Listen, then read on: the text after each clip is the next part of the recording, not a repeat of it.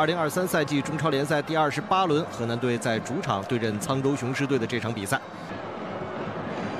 林创业这球打到点球点附近，第一落点被顶出来，外围直接一脚远射。左边后卫是十一号柯昭，右边是三十三号迪勒姆拉提。来看一下这个球，在禁区内中路十八号赵宇豪无人防守的情况下，迎球一脚怒射，把这球打进了沧州雄狮队的球门。我们来看一下这个任意球，球直接打到了禁区的远端，舒尼奇横向的头球一点，在那个位置上，赵宇豪即使没有能够踢中皮球，科维奇也已经到位了。沧州雄狮队定位球的防守出现了明显的一个区域的漏洞，这个其实是不应该的。贝尔托没有机会再把球转到边路，传中球再给到中间，打门，这球打在了球门横梁上。河南队刚才又是打出了一次很漂亮的进攻，边路的传中球送进去，还有机会头球攻门，这球将将顶偏了。好的，这球给到中间，钟一号打门，球进了。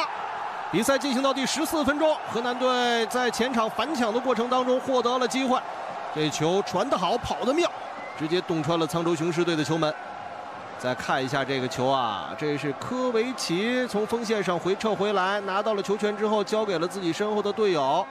这球整个从前场截得球权，然后一抹，黄子昌向前一传，再到钟英浩中路包抄打门，一气呵成。都是最简单的一次触球，但是却完成了最有效果的配合。来，这个从后排上来，姚旭晨前插，对于自己身体的利用都做得非常好，就是最后的这脚打门被王国明及时的出击给封堵了。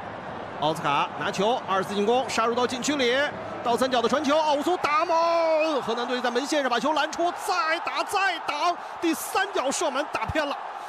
哎呀，沧州雄狮队的这波进攻，处处都是机会。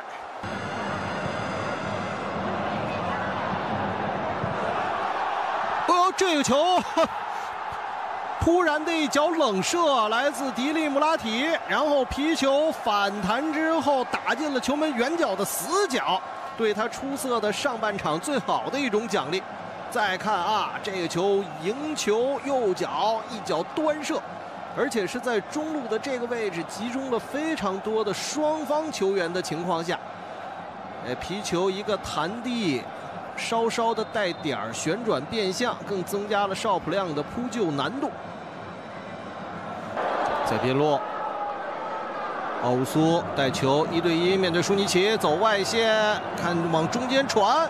横向的打门，哎呀，这个球非常好的机会啊！姚旭晨的打门又是被王国明在球门线上挡出。这球奥斯卡面对舒尼奇突破变向，坚持走外线，然后已经是闪开了空当，也给到了后防线无人防守的空位。这横传球打得很漂亮，姚旭晨凌空直接左脚打，力度也稍稍的有点下降。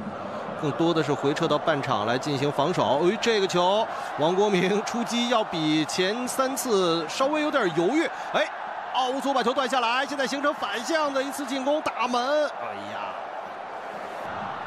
阿德里安给到远端，贝尔托横向打门，球进了。比赛进行到第六十七分钟，河南队打进了他们在今天这场比赛当中的第四粒进球。我们再看啊，四个人的防线，等后中场球员补防回来已经来不及了。这个球已经是转移到了左侧贝尔托的脚下。贝尔托第一时间选择横向带球，很冷静，一直在找射门的空当，找到一个最好的角度之后再起脚打门，地球应声入网。后场断球，阿德里安。黄子昌远端空当出来了，中一号，中一号带球长驱直入，到了禁区里，看最后的这脚打门，球进了。比赛进行到第七十六分钟，河南队打进了他们在今天的这场比赛当中的第五粒进球。沧州雄狮到最后啊，这攻防多少有点脱节了，整体压上进攻之后后防线压的比较靠上但是中场的协防保护没有能够做好被对方在后场断球之后快速的向前打反击很轻易的转移到了中一号这一侧。中一号单刀杀入禁区面对对方的门将韩风最后的这脚打门也是非常的冷静。现在是科维奇等远端中一号上来，中一号突入禁区，再往中间给科维奇调整打门，又一个，科维奇也进球了，进一步提升了自己在中超联赛当中的进球数。如果说是上半时那三个球进的还是双方互有攻守的情况下。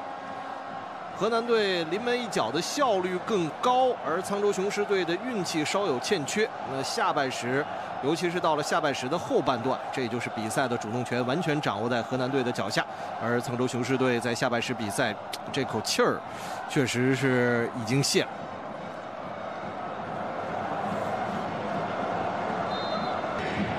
河南队这个角球开出，王国明。很稳健出击，把球拿在自己的手中。